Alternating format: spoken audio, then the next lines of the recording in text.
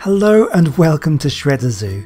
Today we're taking a look at one of the most important, if controversial, prehistoric bird discoveries.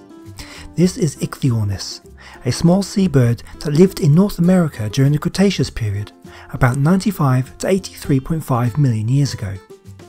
It is thought that the Ichthyornis was the Cretaceous ecological equivalent of modern seabirds such as gulls.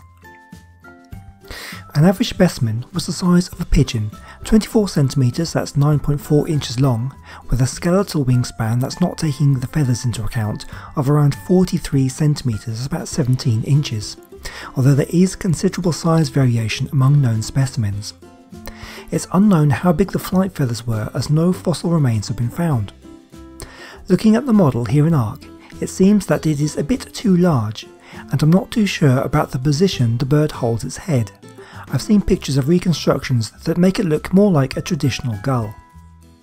The name Ichthyornis means fish bird and comes from its rounded vertebrae which is similar to some types of fish. The Ichthyornis has a very important history, but its discovery did spark some controversy. It was first discovered in 1870 by Benjamin Franklin Mudge, a professor from Kansas State Agricultural College who recovered the initial fossils from the North Fork of the Solomon River in Kansas, United States. At this time, the Bone Wars was in full swing. This was a period of intense fossil collecting by two rival scientists, Charles Nathaniel Marsh and Edward Drinker Cope.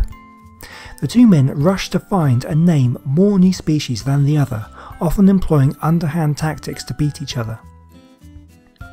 Benjamin Franklin Mudge was a prolific fossil collector, and he would send his discoveries to Cope for analysis. But he had been a friend of Marsh in his younger years. Marsh contacted Mudge and asked him to send any new discoveries to him instead of Cope. To sweeten the deal, Marsh offered to do this for free and promised to give Mudge sole credit for the discovery. When Mudge received Marsh's letter, the first Ichthyornis specimen was already prepared for shipping to Cope. He changed the address on the crate and it was sent to Marsh instead. During the rush to identify new species, both Marsh and Cope often missed details or made mistakes. In the case of Marsh and the Ichthyornis, Marsh failed to realise the significance of the find. He also misidentified it. Marsh thought that he had the remains of two creatures.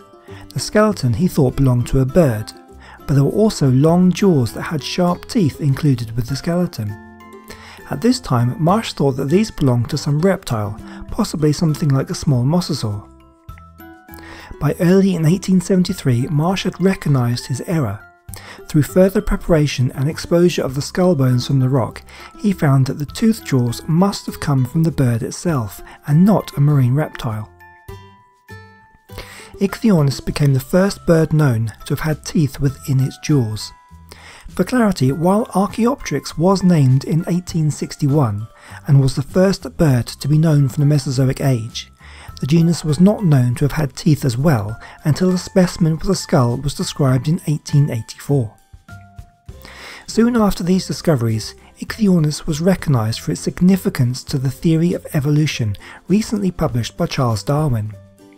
Darwin himself told Marsh in an 1880 letter that Ichthyornis and Hesperornis offered the best support for the theory of evolution since he had first published On the Origin of Species in 1859. Charles Darwin's book had upset a lot of people, particularly those with strong religious views who saw it as a challenge to the teachings of the Christian Bible. And now a discovery of a nearly modern bird with reptilian teeth stirred those fears. One Yale student described various men and women urging Marsh to conceal Ichthyornis from the public because it lent too much support to the evolutionary theory. Many accused Marsh of having tampered with the fossils or intentionally creating a hoax by associating reptilian jaws with the body of a bird. Accusations that continue to surface even as late as 1967. However, an overwhelming majority of researchers have demonstrated that Marsh's interpretation of the fossils was correct. Ichthyornis is now known by many specimens. In fact, it is one of the best represented fossil birds currently known. Ichthyornis lived along the coastline of the old western interior seaway.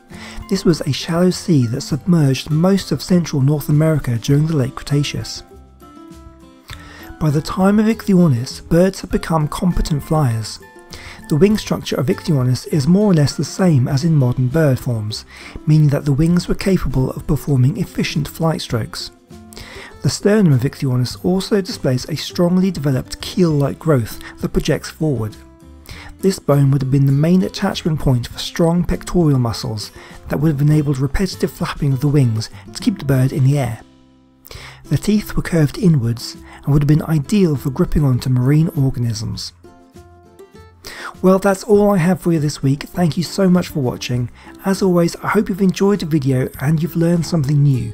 If you did, please let me know by liking the video and leaving a comment down below.